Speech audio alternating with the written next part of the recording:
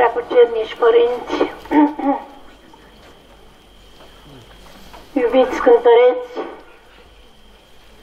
iubiți credincioși și credincioase, care ați venit astăzi să o cinstim pe Maica Domnului.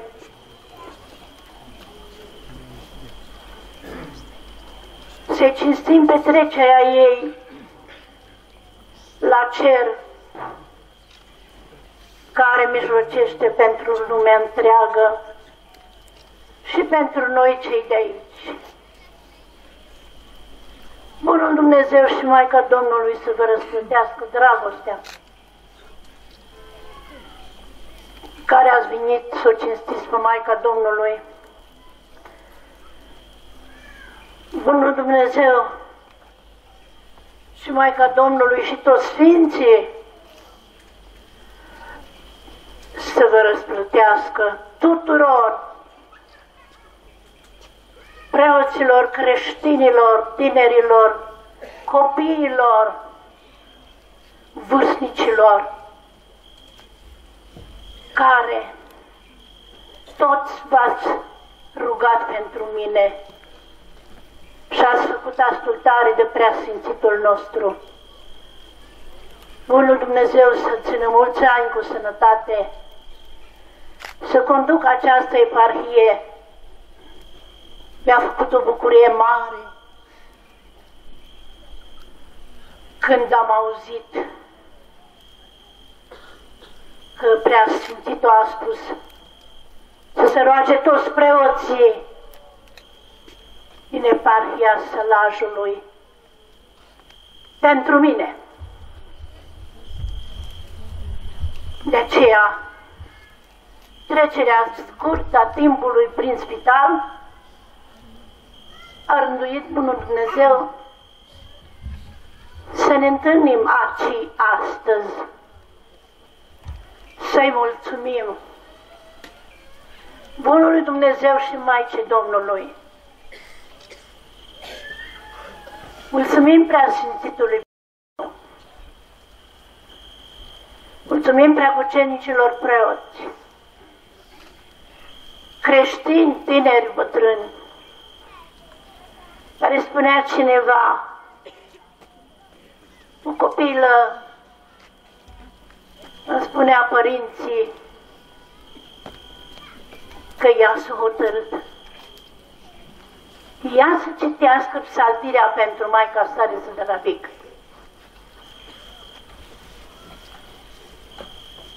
Care nici n-a știut cine a fost, doar mi-a ajuns la urechi. Dragii mei, această sărbătoare a Maicii lui Dumnezeu și rugăciunile care s-au făcut în toate sufletele din țară, din lumea întreagă și din toate țările pe unde am trecut. Nu a fost o întâmplare omenească să știți. A fost o întâmplare cerească. Eu n-am fost vrednică de rugăciunile astea atâta lume care s-au rugat pentru mine. Dar dragostea dumneavoastră tuturor a dovedit-o asta ce nu m-am așteptat la așa ceva. Și am spus așa, chiar vorbeam cu domnul primar al nostru la Șimleu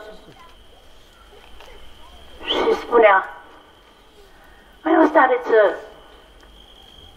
grija dumneavoastră este să aveți grijă de dumneavoastră.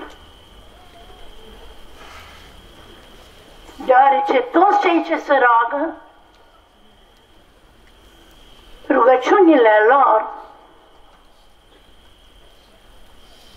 ajung la Dumnezeu cei ce se roagă.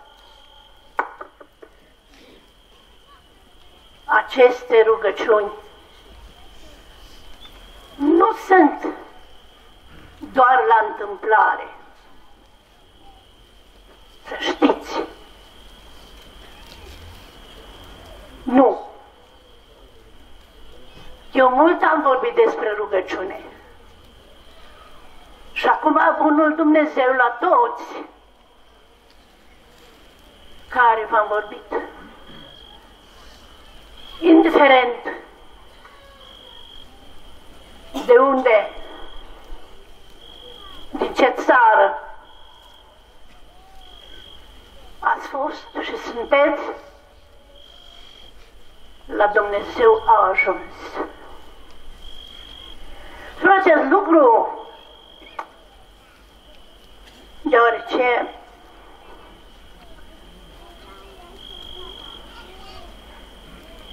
această lucrare dumnezească, am spus-o și eu spun tuturor și vă spun la toți de aici. Și care veți auzi, ce cuvinte a spus referitor la rugăciune Părintele Pusnic Rafael Noica,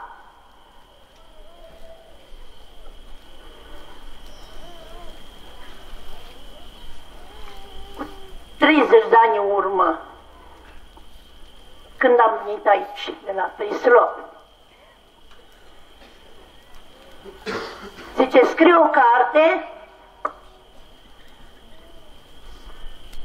despre iubirea dumnezească.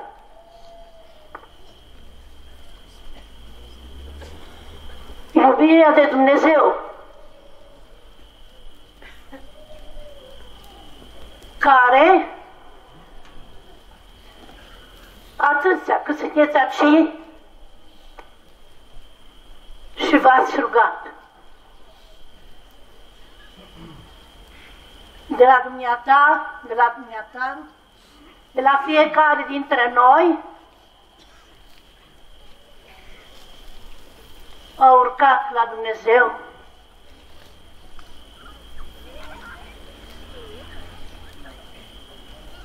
La fiecare ins care s-a rugat. Și acele toate de la Dumnezeu au coborât peste noi toți și familiile noastre. Și așa vă spun și acum, că toate acele rugăciuni care le-ați făcut și le faceți pentru orice suflet de pe pământ ajung la Dumnezeu de la Dumnezeu la noi, la fiecare în parte.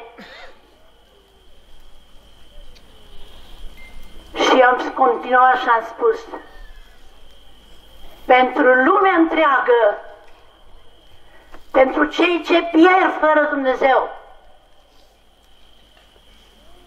pentru cei necredincioși și negriți în păcate grele. Asta e menirea noastră a creștinilor. să apărăm cauza lui Dumnezeu în lume, cum a spus Părintele Arsenie Boga. Ce apăra cauza lui Dumnezeu în lume, asta este. A pune sufletul pentru aproapele tău. Dragii mei, nu aș mai despărți de dumneavoastră E puțină clipa care am vorbit. Dar puneți bine la suflet importanța rugăciunii. Fie pentru dumneavoastră personal și familiile dumneavoastră și pentru lumea care pierde fără Dumnezeu. băgați de seamă că suntem responsabili noi creștinii. Noi creștinii de toate căderile în păcate a celor slabi și necredincioși. Am mai spus asta. Cel mai fericit om de pe pământ este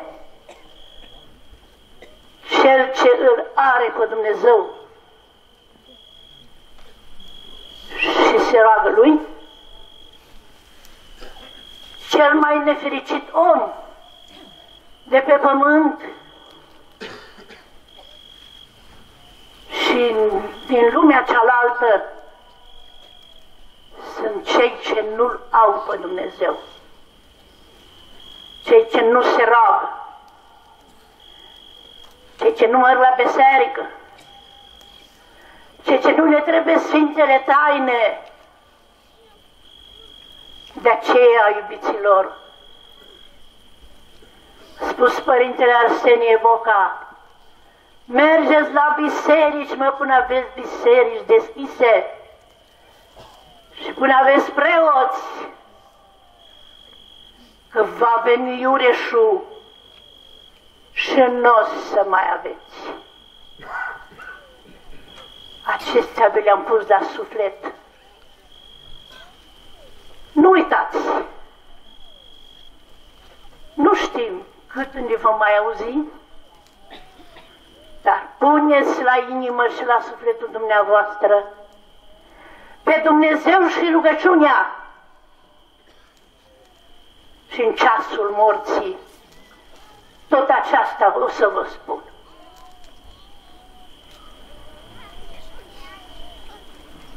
Programul slujbelor s-a anunțat. Dimineața va fi Sfântul Mazlu la șapte.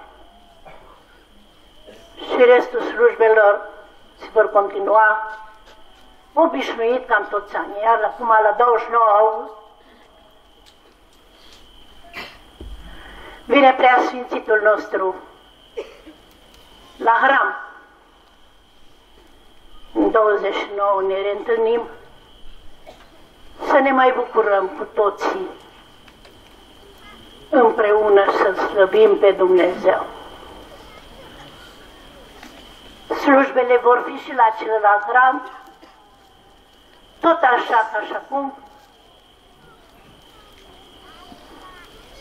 cum au fost în seara aceasta și cum va fi mâine. De o, ceva deosebit este că va fi preasfințitul în mijlocul nostru. Ca să ne mai bucurăm încă o zi din viața noastră împreună și să slăbim pe Dumnezeu. Tuturor vă doresc mai multă credință în Dumnezeu, să vă lăsați de păcate, să vă spovediți și să vă împărtășiți. Că fără aceste sfinte taine nu ne mântuim. Fără căință de păcate nu ne mântuim. Și încă o dată vă mulțumesc tuturor care v-ați rugat și care vă rugați pentru lumea întreagă. O sărbătoare cu Dumnezeu, cu Maica Domnului și cu toți Sfinții Săi, așa cum suntem acum prezenți în număr atât de mare, așa o să fi scriși în ceruri, în cartea lui Dumnezeu. Dumnezeu să vă aibă pe toți în pază. Cei ce purta numele Maicii Domnului. Vă dorim Mulțumim preacucenicilor preoți, creștini, tineri, bătrâni, care spunea cineva, un copil îmi spunea părinții că ea s-a hotărât. Ea să citească psaltirea pentru Maica sa de Sfântă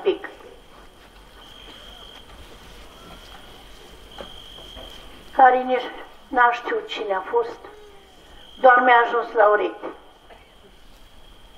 Dragii mei, această sărbătoare a Maicii lui Dumnezeu și rugăciunile care s-au făcut în toate sufletele din țară, din lumea întreagă și din toate țările pe unde am trecut. Nu a fost o întâmplare omenească. Să știți, a fost o întâmplare cerească. Eu n-am fost vrednică de rugăciunile astea atâta lume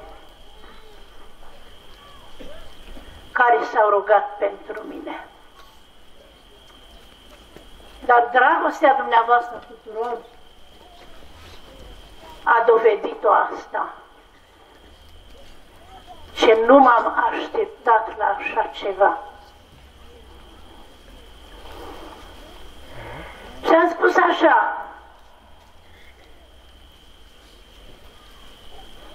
chiar vorbeam cu domnul primar al nostru la Șimleu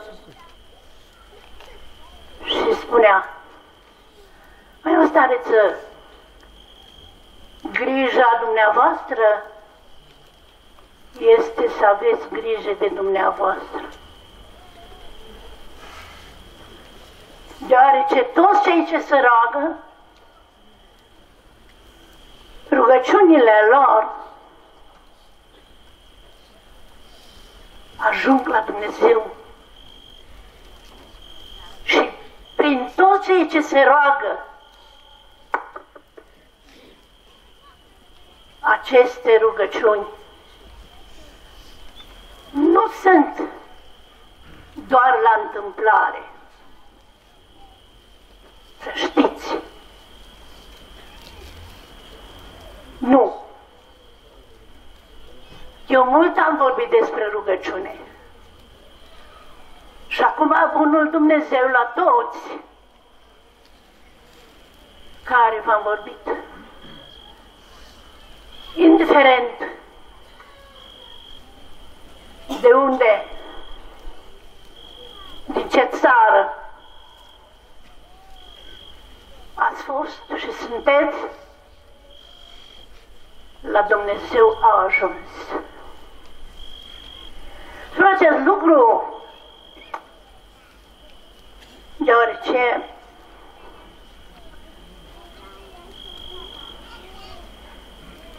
această lucrare dumnezească, am spus-o și eu spun tuturor și vă spun la toți. De aici. Și care veți auzi? Ce cuvinte a spus referitor la rugăciune? Părintele Pusnic Rafael Noica,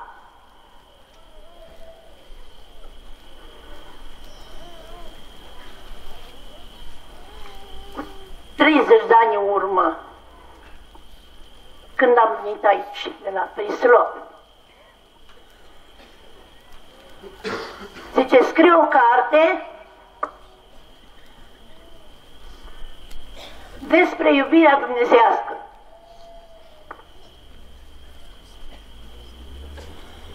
Iubirea de Dumnezeu. Care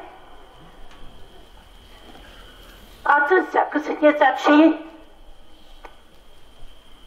și v-ați rugat. De la dumneata, de la dumneata, de la fiecare dintre noi a urcat la Dumnezeu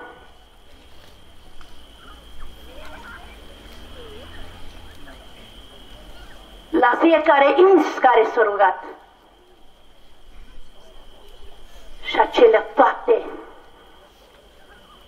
de la Dumnezeu au coborât peste noi toți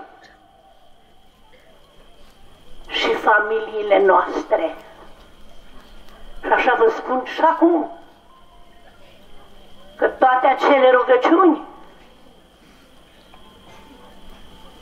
care le-ați făcut și le faceți pentru orice suflet de pe pământ ajung la Dumnezeu de la Dumnezeu la noi, la fiecare în parte.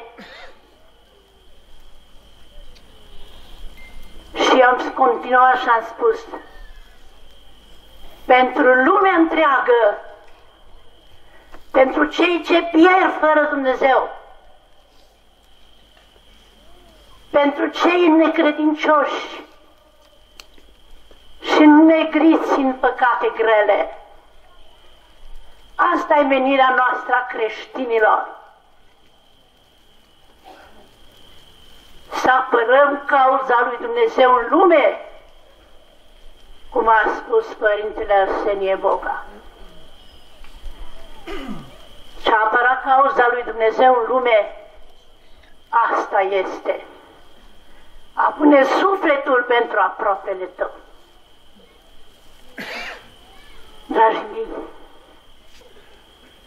nu aș mai despărți de dumneavoastră. E puțină clipa care am vorbit. Dar puneți bine la suflet importanța rugăciunii. Fie pentru dumneavoastră personal, și familiile dumneavoastră și pentru lumea care pierde fără Dumnezeu. Băgați de seamă că suntem responsabili noi creștinii. Noi creștinii de toate căderile în păcate a celor slabi, și necredincioși. Am mai spus asta. Cel mai fericit om de pe pământ este cel ce îl are pe Dumnezeu și se roagă lui, cel mai nefericit om de pe pământ. Și din lumea cealaltă sunt cei ce nu-L au pe Dumnezeu, cei ce nu se roagă, cei ce nu merg la biserică, cei ce nu ne trebuie Sfintele Taine, de aceea, iubiților, spus Părintele Arsenie Boca, Mergeți la biserici, mă, până aveți biserici deschise și până aveți preoți, că va veni iureșul și nu o să mai aveți. Acestea vi le-am pus la suflet. Nu uitați! Nu știm cât ne vom mai auzi, dar puneți la inimă și la sufletul dumneavoastră pe Dumnezeu și rugăciunea și în ceasul morții tot aceasta o să vă spun.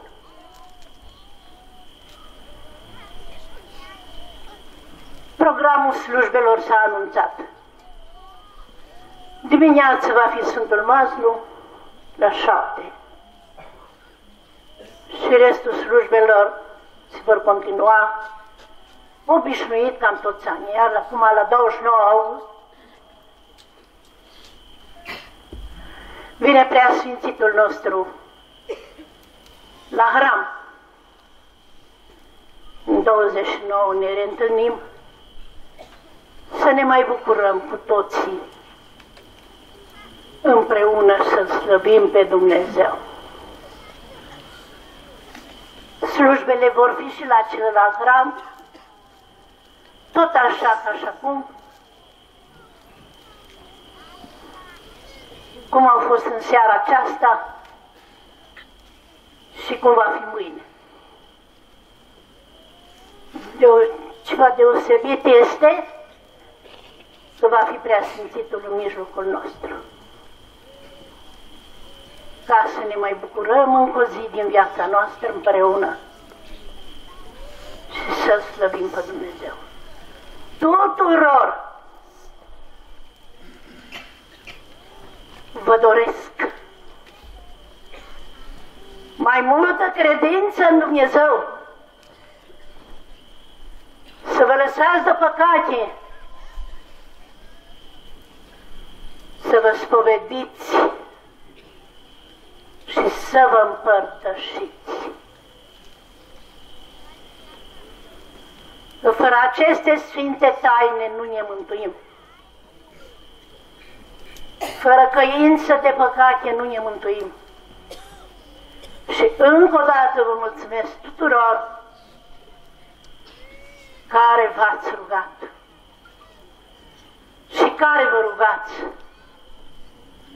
pentru lumea întreagă. O sărbătoare cu Dumnezeu, cu Maica Domnului și cu toți Sfinții Săi, așa cum suntem acum prezenți în număr atât de mare, așa o să fi scriși în ceruri, în cartea lui Dumnezeu. Dumnezeu să vă aibă pe toți în pază. Cei ce purtați numele Maicii Domnului. Vă dorim tot ce cuprinde binele și mântuirea sufletului. Vă îmbrățișez, vă iubesc pe toți și vă port în suflet, vă port recunoștință cât eu mai trăiesc. Când veniți sau mereți la biserică și mănăstire, să vă rugați. Să vă rugați și iarăși zic